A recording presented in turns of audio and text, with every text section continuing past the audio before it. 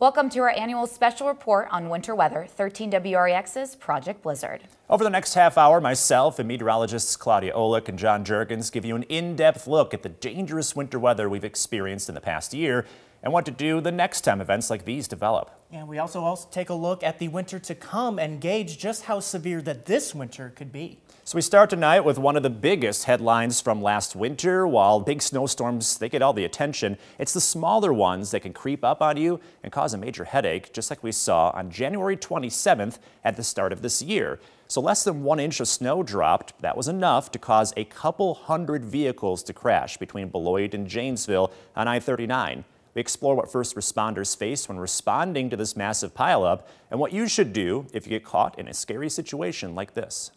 A quick burst of snow and strong winds was enough to cause whiteout conditions in less than one hour. Combined with near freezing temperatures, I 39 quickly turned dangerous. I mean, it was like a five mile stretch of interstate that got hit.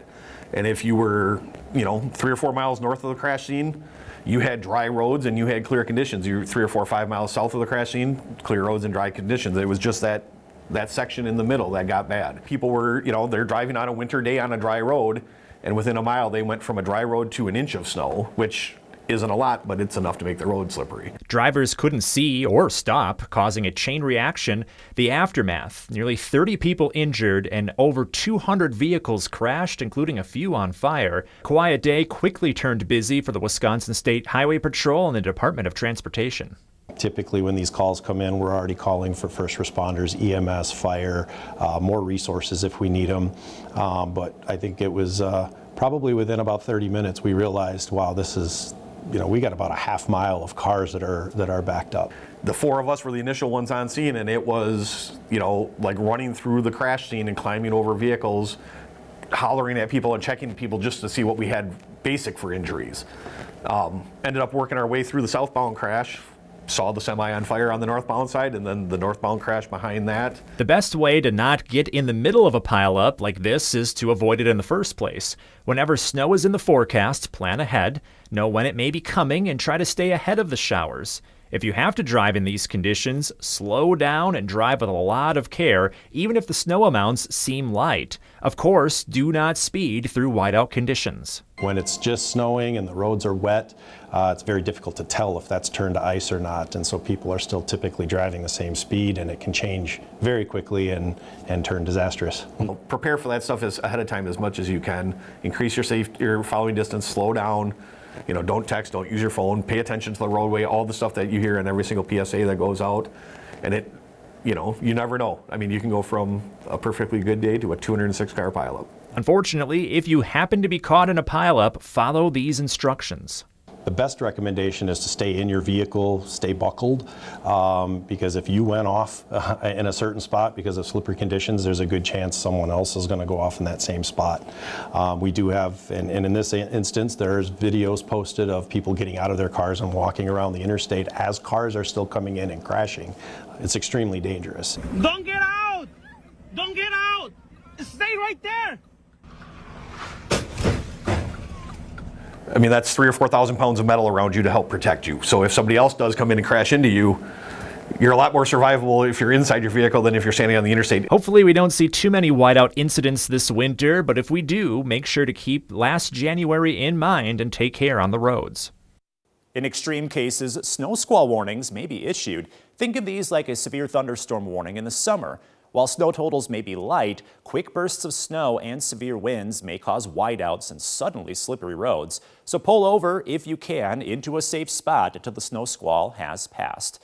Now, in order to help prevent accidents and slippery roads like we just showed you, road crews are hard at work every winter trying to stay one step ahead of the snowstorms. I spoke with the Illinois Department of Transportation on what all goes into keeping our roads clear of ice and snow.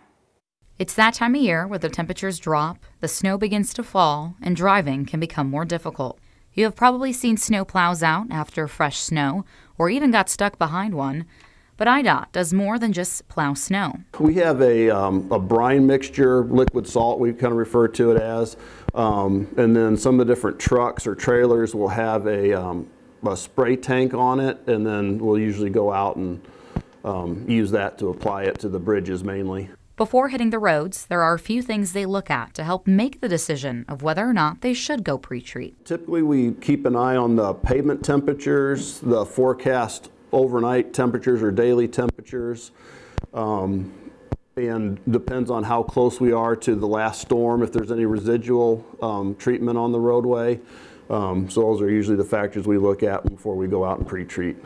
IDOT doesn't have meteorologists of their own to gather this information, so they work with a company called DTN, whose meteorologists provide them with the forecast. So we actually take that weather forecast and use the weather models that are out there and then provide a, a forecast of what the pavement temperature is going to be and the conditions of that pavement based on the weather information.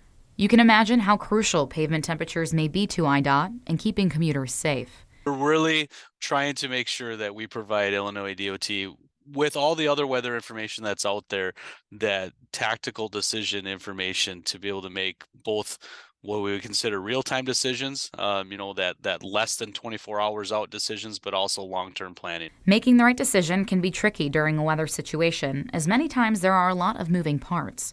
Forecasting for these storms can be just as challenging, but that's why DTN works hard to prepare an accurate forecast and consistently communicates with IDOT they're looking at all of the factors of amongst their equipment the amount of material they have the staffing they have and then using that weather data from uh, multiple sources including what we're able to provide them to be able to make the best decision possible. 80% of reported crashes during the winter happen in 1 to 2 inches of snow according to a study done by the national weather service in wisconsin. Contrary to popular belief it is not the big snowstorms that cause a majority of car accidents it doesn't take much to see slippery and hazardous conditions to develop on the roads. David has one piece of advice. Biggest thing, you hear it all the time, but it's be patient, you know, be aware of the, the payment conditions and how quickly they can change. Um, give the trucks plenty of room because, again, you just, they're so hard to see around. Yeah, patience and keeping your distance is probably the, the best option. The next time winter weather arrives, IDOT has updated road conditions online that show which roads are partly, mostly, or completely covered with snow or ice. And keeping an eye on the forecast during the winter months will also help you and your family stay safe. Coming up on Project Blizzard, freezing rain and ice storms can be even bigger headaches than a hefty helping of snow. We help you navigate through the next time we get a sheet of ice instead of inches of snow. Welcome back to Project Blizzard. When we think of winter weather, many of us tend to think about the scenic sights of flurries flying through the sky, and in some cases, the snowstorms, which can cause slick road conditions over a few hours. Yeah, but we don't often consider other kinds of frozen precipitation, like freezing rain and ice. An ice storm can bring devastating impacts much quicker than most snowstorms ever could, something we learned earlier this year on February 22, 2023. A winter storm brought significant accumulations of freezing rain across northern Illinois and southern Wisconsin. The Rockford Airport recorded more than a third of an inch of ice, which may not seem like much, but it adds at least 250 pounds of weight on everything from trees to buildings and power lines.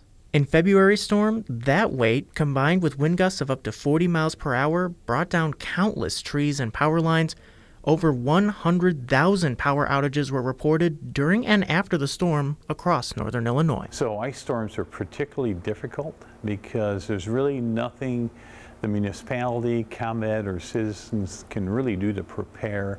Um, we do the preparation months in advance by tree trimming, uh, eliminating those overhanging branches along the, the power lines where we see there could be a possible um, breakage. While there is difficulty in preparing for these storms, it remains quite difficult to forecast ice storms. That's because temperatures from the surface to the clouds overhead need to line up just right. If most or all of that air is below freezing, then we get snow or hardened ice pellets that we call sleet. But if that air is mostly above freezing, then water will be able to fall down to the surface in liquid form, what we call rain. But if the conditions line up just right and there's a shallow layer of colder air near the surface, then those raindrops will be able to freeze on contact with the ground.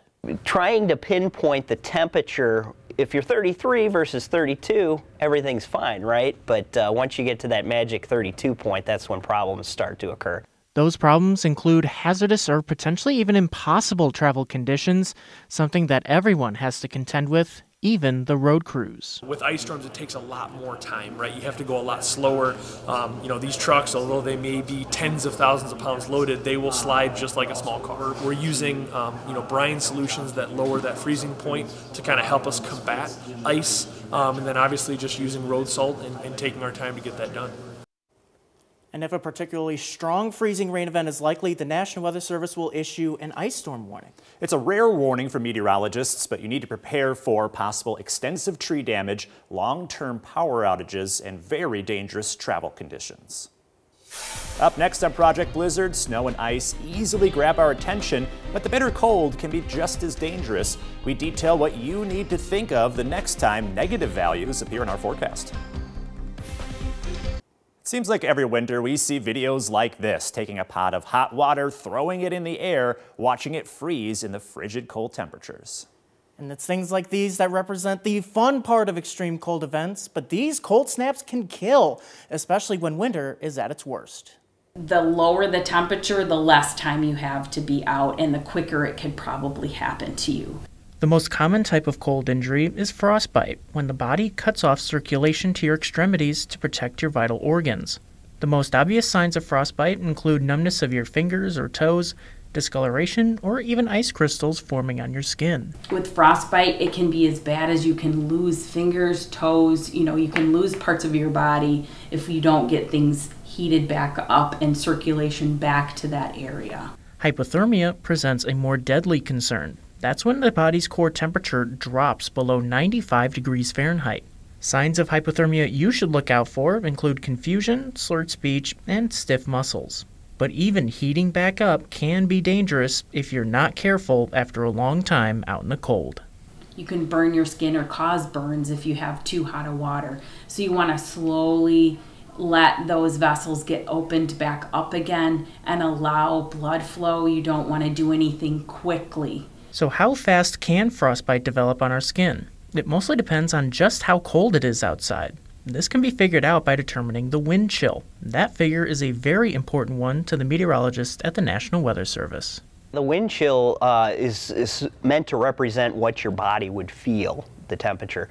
So if you envision if the winds are basically light or nearly calm, your body heat is going to radiate out and probably heat the air just around your body. So you're not going to feel, even though it's cold outside, you won't feel quite as cold, but you bring in the wind, that wind is just going to take away any, any layer of slightly warmer air near your body. It's going to keep taking that away. So in a sense, your, your body is going to cool down and feel a lot colder much faster. Using that wind chill number, we can actually estimate how quickly frostbite can settle in. As this chart shows us, frostbite can happen in as little as 30, 10, or even 5 minutes. And you don't have to look back very far to see when it was that cold here at home. Just about five years ago, on January 31st, 2019, we dropped to a staggering negative 31 degrees, the coldest it has ever been in Rockford's history. Wind chills pushed down to 50 below putting people at risk of frostbite in just 10 minutes. During that cold snap, a huge fire broke out at the Rockford Township building on Springfield Avenue, putting firefighters in danger not just fighting the fire, but also fighting frostbite. We want to make sure that you know we bring in additional resources so we can rotate our crews so we don't have to expose our personnel to the extreme temperatures for prolonged periods of time. If you need to be outside when winter is at its worst, there are some simple steps you can take to keep yourself out of danger. Any exposed skin, that's the problem. So you want to cover that skin. Layers are warmth. So if you layer yourself on underneath of any type of outer clothing that you have, that's going to buy you some more time and keep you warmer. And on our website, you can find links to local warming shelters across the state line. See when they open and what resources they provide right now on the Project Blizzard page on WREX.com.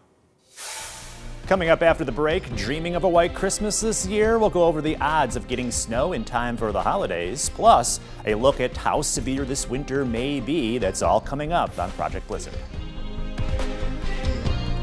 Welcome back to Project Blizzard. The end of each year comes with a special time where families and friends gather to celebrate some of our favorite holidays. Some look forward to spending time with those loved ones or receiving gifts, and others look forward to that white, fluffy snow. Because it feels so much more magical because it's a special holiday. There is something truly special about waking up on the morning of a holiday with fresh snow on the ground and the flakes still slowly falling. However, most years we aren't lucky enough to see a white blanket across the state line in time for the holidays. When you hear the term White Christmas, that is defined by one inch on the ground on or at least by December 25th. According to the National Weather Service in Chicago, Rockford sees a white Christmas only 44% of the time, with data going back to 1950. Here is a record of how many times we have seen a white Christmas and how much snow was recorded. The last time Rockford saw snow by December 25th was in 2017, with 1 to 3 inches on the ground at the time. Despite the five year gap, there is a chance the state line could see snow. But if you want snow, head up north to the Rocky Mountains or even northern Minnesota, where the chances jump up to 90%. Back in our own state, northern Illinois presents the best probability of seeing snow late in December compared to the rest of the state, according to this graphic. Whether or not we see snow during the holiday season is also very dependent on our current weather patterns. We need the right conditions and, of course, cold enough temperatures to see snow falling. And when we do get snow during the holidays, there are a few words that come to mind nice, warm, happy. Some say they would only like snow during this time of year. It's more fun to have snow during the holidays. Snow could be fun and special, but not everyone can say that they like it. Probably I don't so we're currently in a long stretch without a white Christmas, and if we don't see snow on the ground by December 25th, this will mark the sixth year in a row without a technical white Christmas. So you're probably wondering what the chances are of getting that white Christmas this year, but what we are expecting for this season as a whole might give us a better idea. So that's that time now to address the question we get this time every year. What kind of winter are we going to get? Besides the easy answer of cold and snowy, like around uh, these parts usually, we have a chance to see a different winter this time around compared to the past three years. First time in three winters, we will not have La Nina influencing our weather. Instead, the weather is on track to see a moderate to strong El Nino. The stronger the La Nina or El Nino, the more likely we see its influence all winter long. El Nino occurs when the tropical ocean waters in the central and eastern Pacific are warmer than average. The warm waters tweak the jet stream, which in turn influences the temperature and rain and snow patterns across the northern hemisphere.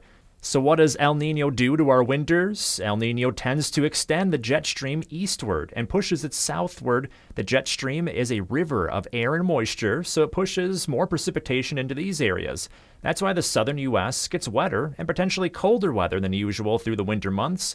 Across the northwest and into the midwest, warmer and drier than average weather is likely. And what we tend to see, or have seen in past ones, is that uh, we tend to see that the polar jet, which kind of separates the colder, really cold weather from, you know, the milder type temperatures, that tends to be suppressed further to the north.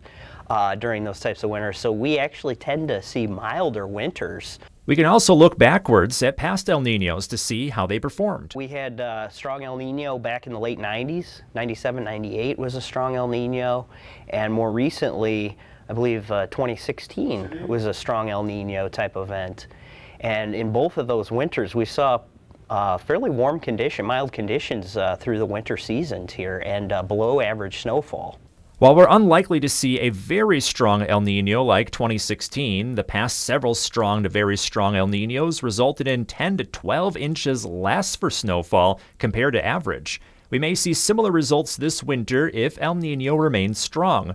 We could still end up getting walloped by a snowstorm or two, but the entire season may end up lacking in snowfall. So, does a warming climate factor into all of this? On its own, our winters are the fastest warming season of the year. Rockford's winters are 5 degrees warmer than 50 years ago. That may not sound like much, but that means 17 additional warm winter days.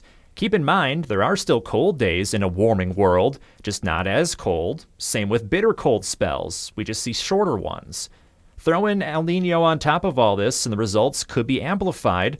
We will still get the occasional bitterly cold day or weeks, just less of them. If you live in the area this winter, just be prepared. Even in El Nino events, we do still get snow and we do still see some winter weather. It just tends to be less so than an otherwise uh, normal winter. So here's the forecast. Outside of the usual bitter cold snaps, will likely be warmer than usual most days. Snowfall may be down several inches to even a foot. But keep in mind, all it takes is a little snow and ice to cause major issues, so be ready for whatever winter throws our way.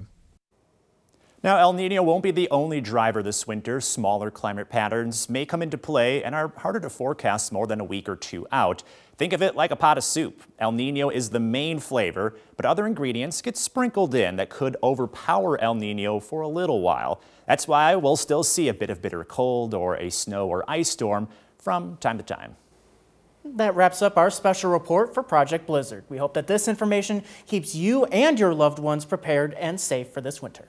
Of course, anytime winter weather threatens, turn to our forecast and expertise before, during, and after the storm. And be sure to visit our website, 13wrex.com, for a more detailed look into the science of forecasting this winter season. Thanks for watching and have a great night.